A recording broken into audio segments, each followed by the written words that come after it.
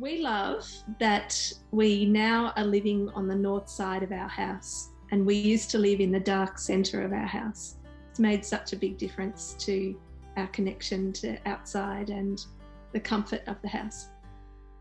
And we're, um, you know, we've got a native garden out the back, so we're, we're we've got the birds all around us now, which we didn't have before, which is just so nice.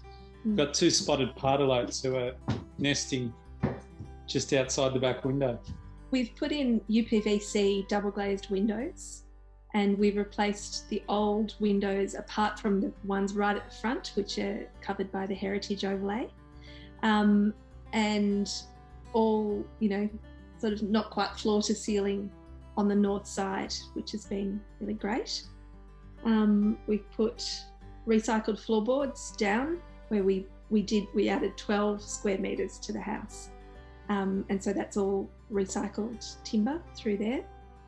We in- insulated every wall and the ceiling and under the floor, and then and we even insulated in the gaps in the corners Mm. of all the rooms. The ceiling was the really thick. It was six, I think, but the yeah the walls and under the floor are. Um, I think they were two and a half. Yeah, I think it was just two yeah. and a half, just the standard sort of good recommendation. We didn't overdo it. Yeah, but um, we also used recycled timber for um, for everything we built on the inside, Mm. um, which was which was pretty cool. It all looks quite beautiful, Mm. and all, all the lights are LED. And then we're nearly off gas, Liz. We've got a solar um, a solar hot water system that's gas boosted, and that's the only gas left. So we've got um, everything else is electric now. But we took out our central heating gas system and we've replaced that so far with two split systems in the whole house. On the sunny days, we're not using it at all, really, until um, on the colder days. Sometimes we're using it in the evenings, but on the overcast days, it might we might kick it in in the afternoon through the winter. But we haven't been using it at all much lately. but it's it's also like the the gas central heating system was um, like I think it was a pretty good system. It was five or six stars, but it was we were spending six or seven hundred dollars a year on on heating, Mm. and it was heating the whole house. So we've now got the split systems. They're just heating smaller spaces.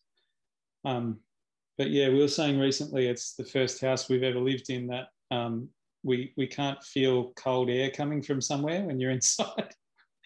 so yeah, I think we'll we'll need heating a lot less, We've got 1.15, I think. something like that. When we when we replace the gas boosted hot water, we're going to upgrade the solar. But we yeah we're on the the big feed-in tariff from a long time ago in a galaxy far far away. So I think that runs out in a year or two. Yeah, we haven't we haven't paid for electricity for some time. We don't use a lot. It was a three bedroom house with the kitchen in the middle, um, and the middle being kind of east facing with no north facing, and then a laundry and a living area out there. So we've moved the kitchen dining out to the north side of the house. The laundry's in the middle, and we managed to rearrange rooms to get a second bathroom and a fourth bedroom into the house. And the fourth bedroom's pretty small. It'll end up being a study once we don't have as many kids in the house. Um, but yeah, we're still, our house is total, I think, including, you know, the porch at the front and things, it's still 140 square metres. It's not a big house. So we've been able to. We've been, been able to work with what we have and not encroach on that garden, which we really love, our garden, and increase this connection, but still allow enough spaces for everyone to be in the house.